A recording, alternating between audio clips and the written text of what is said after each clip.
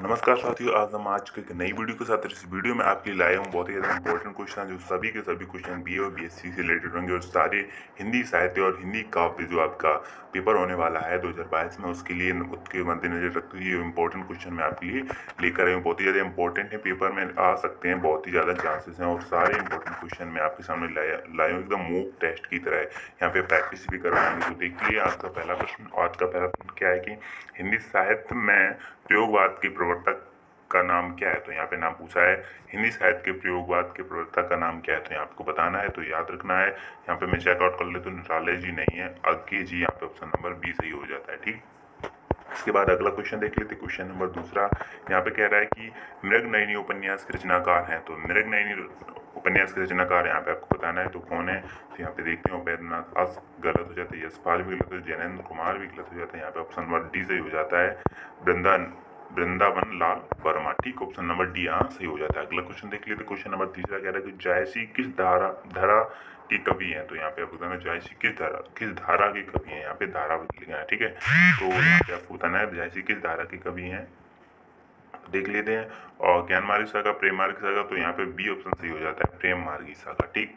देख लेते हैं बी ऑप्शन यहाँ पे सही हो जाता है। अगला क्वेश्चन देख लेते क्वेश्चन नंबर चौथा। यहाँ कह रहे हैं कि निम्न में से कौन सी पुस्तक प्रेम चंद द्वारा लिखित नहीं है। तो प्रेमचंद द्वारा लिखी जो पुस्तक नहीं लिखी, उसको यहाँ पे बताना कौन सी है तो याद रखना यहाँ पे कहिए, कायाकल्प, जय पराजय रंगभूमि या प्रेमासुरन तो यहाँ पे सभी ये रचनाएँ सभी किसकी हैं? प्रेमचंद की हैं, लेकिन जो जय पराजय है, वो प्रेमचंद की रचना नहीं है। ऑप्शन नंबर बी यहाँ पे सही हो जाता है। अगला क्वेश्चन अगला क्वेश्चन है पाँचवें पाँचवें में कह रहा है कि कितने पाकिस्तान नामक उपन्यास के लेखक कौन है? कितने पाकिस्तान ये सर पूरा है? कितना पाकिस्तान नामक उपन्यास के लेखक कौन है? तो आपको बताना है कितने पाकिस्तान नामक उपन्यास के लेखक कौन है? तो यहाँ पे मैं देख लेता हूँ। विद्यापति कमलेश्वर सत्य प्रकाश मिश्र या खुशवंत सिंह। तो यहाँ पे ऑप्शन नंबर यहाँ पे बी ऑप्शन सही हो जाता है कमलेश्वर। कमलेश्वर, ठीक? नेक्स्ट क्वेश्चन देख लेते हैं। देख लेते हैं क्वेश्चन नंबर सिक्स यहाँ पे दे रहा है कि मैथिली कोकिल किसे कहा जाता है? मैथिल कोकिल किसे कहा जाता है? तो आपको बताना है, यहाँ पे देख लेते हैं कई एक सारे ऑप्शन दिए तो ऑप्शन नंबर सभी गलत है, यहाँ पे ये ऑप्शन यहाँ से हो जाता है विद्यापति को। ठीक, अगले क्वेश्चन देख लेते कुछ नंबर सेवन ये कह रहे हैं कि प्रकृति के सुकुमार कवि किसे कहा जाता है? तो ये तो बहुत ही ज़्यादा इंपॉर्टेंट क्वेश्चन हो जाता है नोट कर लीजिए। तो शायद ने सुमित्रा को कहा जाता है, ठीक है? प्रकृति का सुकुमार, प्रकृति लिखा है ठीक? प्रकृति का सुकुमार कवि सुमित्रा नंदन पंत को कहा जाता है। अगला क्वेश्चन देख लेते क्वेश्चन नंबर एट एक भारतीय एक भारतीय आत्मा किसे कहा जाता है? भारतीय की आत्मा, यानी हिंदुस्तान की आत्मा किसे कहा जाता है? तो यहाँ पे आपको ऑप्शन चार ऑप्शन दिए हैं। बताइए कौन सा सही होगा। और तो मैं देख लेता हूँ। यहाँ पे ऑप्शन नंबर सी गलत है। सुमित्रा नंदन पंत, ये भी गलत है। माखन लाल चतुर्वेदी ऑप्शन नंबर यहाँ बी सही हो जाता है, ठीक? कौन कहता है? माखन लाल चतुर्वेदी अगला क्वेश्चन देख लेते हैं। क्वेश्चन नंबर नौ। यहाँ दे रहा है कि एक सम्राट, कथा सम्राट किसे कहा जाता है? ठीक है, कथा सम्राट किसे कहा जाता है? तो यहाँ पे आपको बताना है। तो यहाँ पे ऑप्शन नंबर बी भी गलत ए सही प्रेमचंद प्रेमचंद को कथा सम्राट कहा जाता है। ठीक, अगला क्वेश्चन देख लेते क्वेश्चन नंबर दसवा।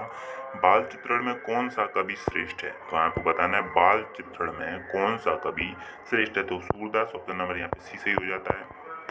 अगला क्वेश्चन देख लेते हैं। क्वेश्चन नंबर अलेवन यहाँ दे रहे हैं कि निम्नांकित प्रश्न में दी गई रचना की रचनाकार किस सही विकल्प का चयन कीजिए। जो उर्वशी है, इसके रचनाकार कौन है? तो आपको बताना है, उर्वशी के रचनाकार कौन है? तो रामदारिक Singh Dinkar option number A से यहाँ पे हो जाता है। इसके बाद नेक्स्ट नेक्स्ट स्लाइड मैंने ओपन की और इसमें भी पहला प्रश्न देख लेते हैं पहला प्रश्न यहाँ क्या कह रहा है कि हिंदी की पहली कहानी लेखिका का नाम क्या है? हिंदी की जो पहली कहानी लेखिका है, उसका नाम क्या है? तो आपको बताना है तो यहाँ पे मैं देख लेता हूँ, बंग मेला। ऑप्शन नंबर ए सही हो जाता है, ठीक है? इसके बाद नेक्स्ट क्वेश्चन देख लेते हैं। क्वेश्चन नंबर टू खड़ी बोली की प्रथम लोकप्रिय कवि किसे माना जाता है? ठीक है तो खड़ी बोली की प्रथम कवि किसे माना जाता है? तो यहाँ आपको बताना है तो खड़ी बोली की प्रथम ऑप्शन नंबर डी यहाँ से हो जाता है अयोध्या सिंह उपाध्याय को उसके बाद नेक्स्ट क्वेश्चन देख लेते क्वेश्चन नंबर तीसरा फड़ीश्वर नाथ रेणु किसके लेखक हैं फड़ीश्वर नाथ रेणु किसके लेखक हैं तो ये आपको बताना है फड़ीश्वर नाथ रेणु तो यहाँ पे ऑप्शन नंबर ए प्रेमचंद की थी तो गीतांजलि ये भी ऑप्शन गलत है मेला चलो ऑप्शन नंबर तीसरा यहाँ पे यहाँ सी सही हो जाता है ठीक अगला क्वेश्चन देख लेते हैं क्वेश्चन नंबर फोर्थ यहाँ कह रहे हैं गोदान किसकी कृति है तो याद रखना गोदान गवन गोदान यहाँ पे देखिए प्रेमचंद बी ऑप्शन यहाँ पे सही हो जाता है, ठीक? उसके बाद नेक्स्ट क्वेश्चन देख लेते हैं क्वेश्चन नंबर पाँचवा कस्तूरी मंडल बसे, आत्मकथा है। कस्तूरी मंडल बसे, कुंडल बसे, कस्तूरी कुंडल बसे, ये किसकी आत्मकथा है? तो आपको बताना है, जैसे मैं पहला ऑप्शन देखता हूँ, गलत हो जाता है, दूसरा भी ऑप्शन यहाँ पे सही हो जाता है। ये ऑप्शन मैत्री पुष्पा की। तो यहाँ पे पुष्पा आ गया। मुझे लगता है कि आपका पुष्पा संबंध बहुत गहरा है। मूवी देख, ठीक है?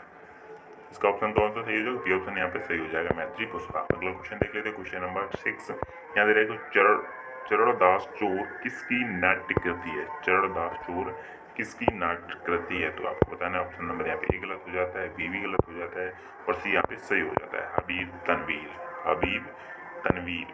अगला क्वेश्चन भूषण भूषण बिन ना बिरजाई कविता वनिता में यह कथन किसका है? तो ये कथन आपको पढ़ना है, इसके बाद इस कथन का आपको बताना है कि ये किसने लिखा है। तो यहाँ पे लिख लेते हैं, ये ऑप्शन तुलसीदास, यहाँ पे गलत हो जाता है।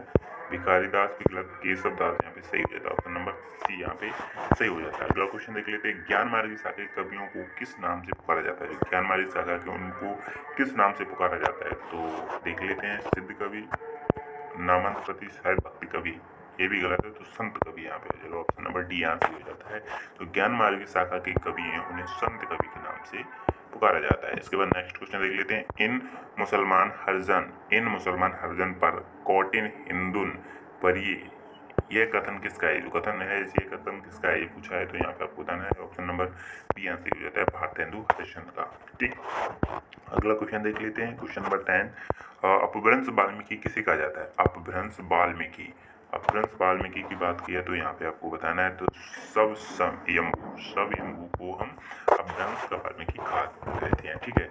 यह कहा जाता है। अगला क्वेश्चन देख लेते हैं। क्वेश्चन नंबर इलेवन चंद्र प्रदाय किसके दरबारी थे? तो आपको चंद्र प्रदाय किसके दरबारी थे? पृथ्वीराज चौहान के। ऑप्शन नंबर डी से हो जाता है। नेक्स्ट क्वेश्चन देख लेते हैं। मलिक मोहम्मद जायसी को, मलिक मोहम्मद जायसी को कहा जाता है, क्योंकि वे एक जायस स्थान नामक स्थान के निवासी थे। इसीलिए उन्हें मलिक मोहम्मद जायसी कहा जाता है। जायसी क्यों कहा जाता है? क्योंकि वे जायस नामक स्थान के निवासी थे। यहाँ पे ऑप्शन नंबर सी सही हो जाता है। ठीक? नेक्स्ट क्वेश्चन देख लेते हैं। Question number thirteen. थर्टीन है, रीतिकाल का वह कौन सा कवि है जो अपनी मात्र एक कृति से साहित्य में अमर हो गए साहित्य की बात कर तो यहाँ पे आपको बताना है, बिहारी जो ऑप्शन नंबर सी सही हो जाता है। बिहारी जो है वो सिर्फ़ एक कृति से साहित्य में अमर हो गए हिंदी साहित्य में। Next question question number fourth fourteen कठिन काव्य का प्रेत किसे कहते हैं? कठिन काव्य का प्रेत किस कवि को कहा जाता है? तो याद रखना ऑप्शन नंबर यहाँ पे सी डी सही हो जाता है, कि सबदास को। अगला question question number fifteen Dwivedi युग का नामकरण किसके नाम पर किया जाता है? किया हुआ है? द्विवेदी नाम, द्विवेदी युग का नामकरण महादेवी प्रसाद के नाम पर, ठीक? तो यहाँ पे ऑप्शन नंबर बी सही हो जाता है। नेक्स्ट क्वेश्चन देख लेते हैं। क्वेश्चन नंबर सिक्सटीन यहाँ लिखा हुआ है कि प्रदीप, हिंदी प्रदीप की यशस्वी संपादक का नाम क्या है? हिंदी प्रदीप की यशस्वी शायद ऑप्शन नंबर बी यहाँ से हो जाता है। बालकृष्ण भट्ट।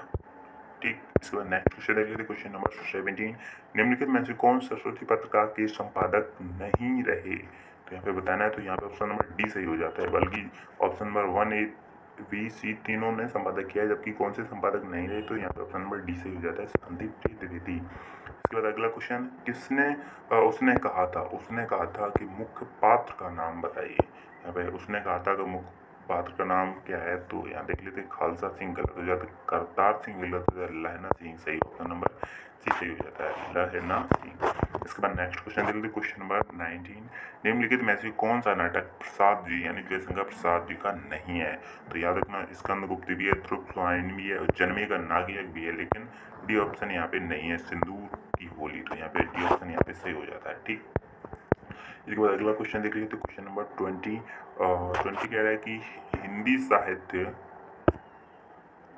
क्या कह रहे हैं? हिंदी साहित्य के आधुनिक काल को इस नाम से भी अभिहित किया है। तो कौन सा नाम है? तो आपको नाम बताना है। तो यहाँ पे देख लेते जीवनी काल पद काल या स्मरण काल या गद्य काल तो हिंदी साहित्य को आ, देख लेते हैं। ऑप्शन नंबर डी यहाँ से हो जाता है।